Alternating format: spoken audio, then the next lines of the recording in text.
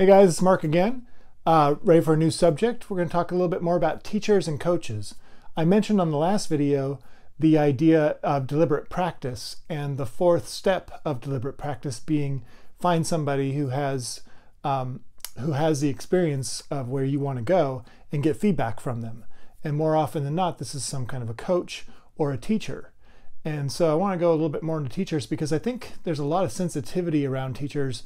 Um, when I've been when I've read books about you know people who don't believe that they can do something, a lot of times they can point to a certain teacher in their past that kind of discouraged them, told them they couldn't do it, and um, or they're you know they're real disciplinarians or different styles didn't didn't mesh.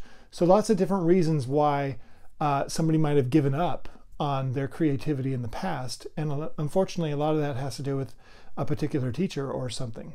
I think one of the reasons why a lot of people uh, get discouraged when they're trying to do their creativity and a teacher and the student don't work very well is because um, the student might not have learned the way that the teacher wanted to teach. Uh, you know, there's sort of a, almost like a vicious circle where the people that are able to to learn through the teaching method that they're taught they're the ones that go forward and they become the teachers. And uh, only a certain limited method uh, starts to move forward through this series of teachers. And if you can't learn that particular way, you'll basically be out of that uh, you know that line. And so and those people won't become uh, you know the creators and the teachers because they didn't they dropped out they they gave up. And so uh, it's sort of this vicious circle that the only thing that's being taught is kind of like this narrow band and um, that's not always true, but but that can definitely be one of the cases that can that can cause the problems. Over the years, I've had some experiences with different teachers, uh, particularly in music, uh, which tends to be kind of a stereotype, I think, of of the you know the teacher that uh, kind of discourages the student because it's like if you can't pick it up fast enough, you're out. And in fact, my friend was literally told by somebody that he had no rhythm. That is so unfair and unfortunate that a teacher had thought that they had the right to tell somebody something like that because that's definitive and it's not true. My friend became a poet and a harmonica player who has perfect rhythm now, but he didn't have it at the time and he was basically dismissed at the moment. And that's just not fair. So if anybody ever did that to you, they were limited in their belief system and that has nothing to do with you and what you're capable of doing. I think that's an example where it was more like the teacher had different motivations than the student. You know, the teacher, almost like I've seen this in schools, where the program is more important than the individuals that are learning. And it's more about winning awards and being recognized as a great conductor as the teacher than it is to actually help the students become good musicians or learn, understand what they're doing versus just make noise based on these pieces of you know these these four or five dots. It's like you know what am i learning? I just i've learned rote memory as opposed to what i'm doing or why i'm doing it. And so i think that's one another example of teachers that really are focused on the wrong things versus teaching you how to actually learn how to do something. And I don't mean to suggest that that's necessarily wrong. It's just maybe not aligned with your motivations and why you want to learn something. And so, like if you know, some students definitely they just picked it up quickly. They like to do what the paper, what the music told them. They didn't even necessarily understand it, and they just wanted to be a part of something bigger and make great music together.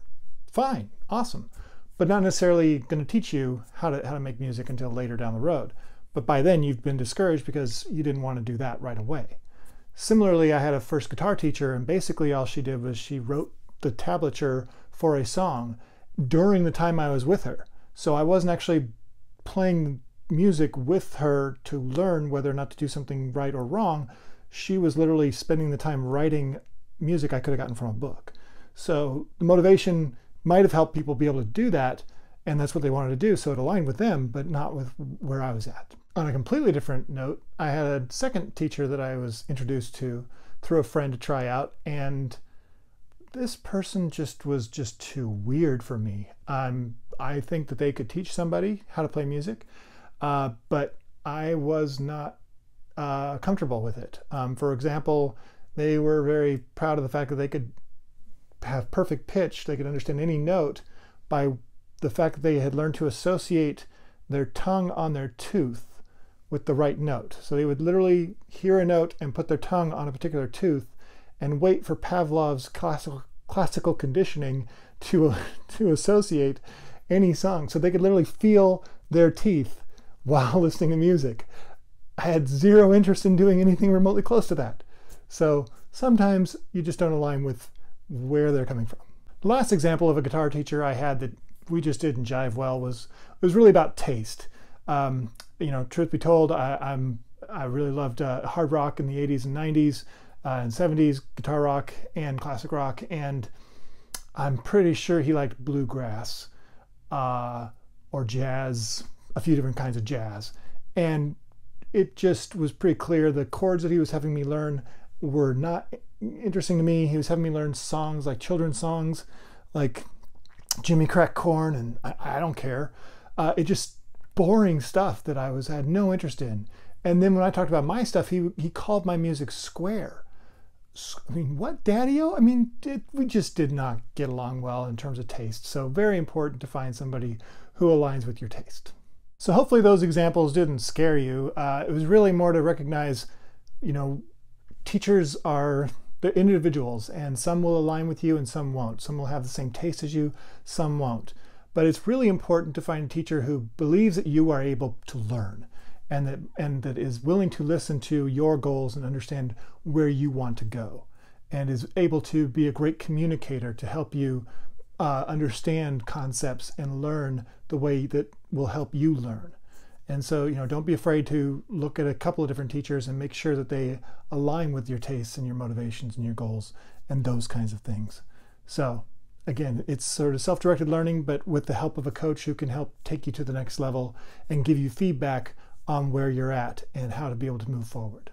I do have one caveat though, and that is if you want to learn what the teacher wants to teach. If you know that they're great and you know that they're amazing or that they've taught somebody else and they you know you see the path that they can take you on and you're willing to do it their way that's great. You know as adults it gets easier to be able to you know recognize yeah you know delaying gratification and being willing to do things that we might not want to do in order to get to that place. Awesome. But uh, you know that's your choice and you're in control